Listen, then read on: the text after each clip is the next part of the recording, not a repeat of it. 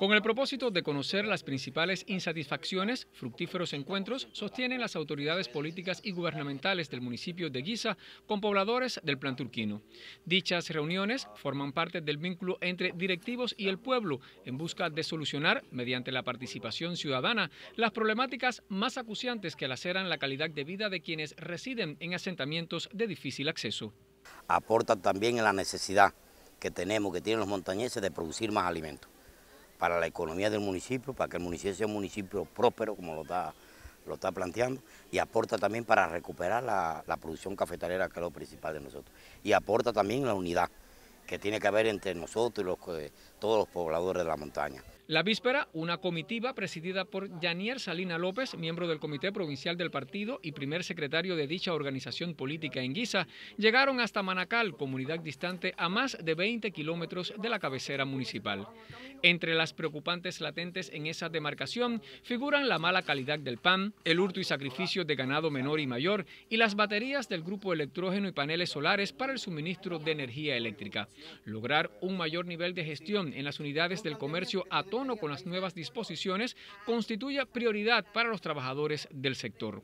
La ocasión fue propicia para reconocer a la cederista Nilda Sosa con la medalla por la defensa y unidad del barrio que confiere los CDR a quienes mantienen un trabajo sostenido en dicha organización. En Pinar de Morales, asentamiento de difícil acceso, el abasto de agua es la mayor preocupación para los más de 140 habitantes. Buscar alternativas como la construcción de aljibes para el almacenamiento del vital líquido es premisa para la comunidad con el concurso gubernamental, pues en la actualidad no se dispone de un vehículo de triple tracción para garantizar un suministro estable. Otra de las limitantes que detiene el desarrollo de Pinar es el programa de la vivienda. Al decir de sus moradores, persisten muchos inmuebles con pisos de tierra y techos en mal estado, aspecto que tendrá solución paulatinamente en la medida que se dispongan de los recursos constructivos. En el encuentro trascendió la voluntad de avanzar en el programa de desarrollo cafetalero con el fin de consolidar desde la montaña una economía circular sostenible. Dicho criterio fue compartido para quienes residen en Arroyón de Guamá, comunidad eminentemente cafetalera, donde se trabaja en la atención cultural de las plantaciones a fin de incrementar los rendimientos productivos en la venidera cosecha. Allí, si bien se diversifica los cultivos varios y frutales, el hurto y sacrificio de ganado desmotiva la crianza de animales, aun cuando los campesinos tienen la disposición de asegurar la producción de carne.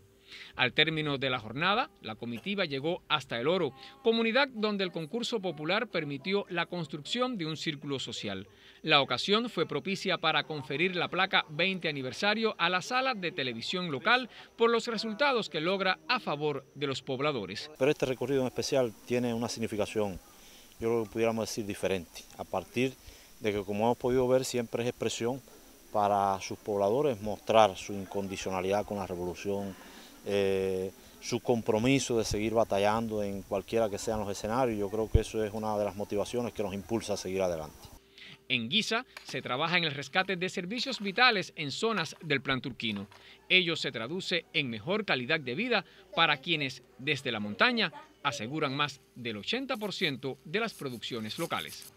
Jorge Luis Ríos, Sistema Informativo de la Televisión Cubana.